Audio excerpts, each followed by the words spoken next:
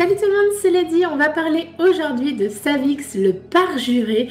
Donc Savix qui est le nouveau boss du cinquième contrat de l'ire de la reine que nous venons de découvrir à la tour de par l'arrivée de Petravenge, son missionnaire.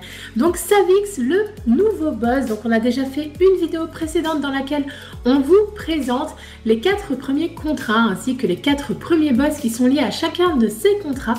Ici, c'est encore la même chose. Vous allez acheter le contrat auprès de l'émissaire. Vous allez remplir votre contrat, trouver les loups et à la fin, vous allez affronter le boss du contrat qui va vous donner à son tour un coffre dans lequel peut-être par chance vous auriez l'occasion de looter la clé qui vous ouvrira la salle des trésors de la prison des vétérans. Donc ça c'était pour le petit rappel, le but de cette vidéo avant toute chose c'est de vous montrer la localisation de Savix, ce fameux capitaine. Donc tout simplement, il se trouve dans l'encre de lumière.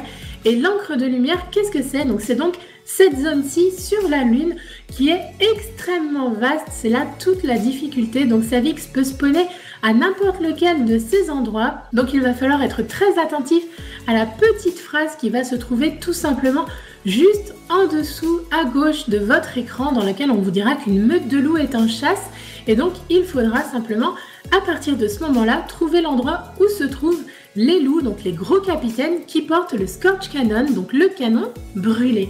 C'est tout pour cette petite vidéo, je vais simplement vous mettre un screen dans lequel vous allez pouvoir apercevoir le fameux Savix et c'est celui-ci. Donc vous voyez qu'il s'agit bien d'un capitaine, il est assez robuste. Pour information, son bouclier est en dégâts cryo-électriques, donc n'hésitez pas à prendre des armes cryo avec vous.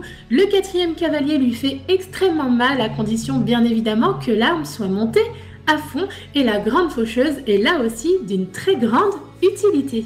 J'en ai fini pour cette vidéo, n'hésitez pas comme je vous l'ai dit à rester et bien attendre dans cette zone afin que l'activité puisse spawner et que vous puissiez partir à la rencontre de ce nouveau capitaine des loups. Si vous avez aimé cette vidéo, n'hésitez pas à la partager, à la liker, à me laisser un petit commentaire, ça fait toujours plaisir. Bonne journée à tous et gros bisous